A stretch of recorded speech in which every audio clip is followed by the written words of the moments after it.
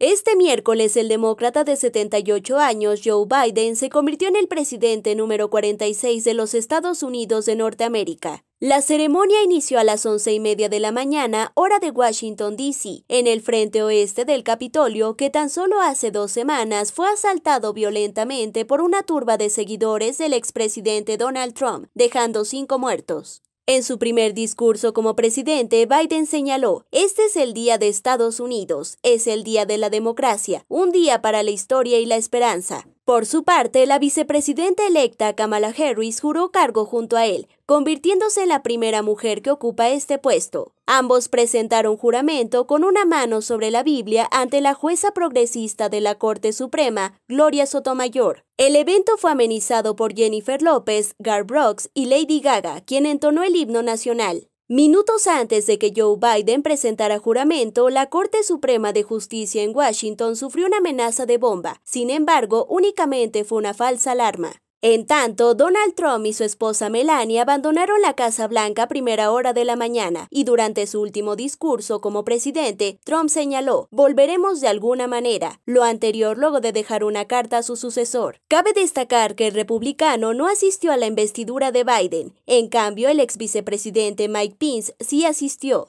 Joe Biden marcará su entrada a la Casa Blanca con la proclamación de 17 decretos para revertir las decisiones de Trump, además de la cancelación del muro fronterizo con México. Para Canal 6, Yaneli García.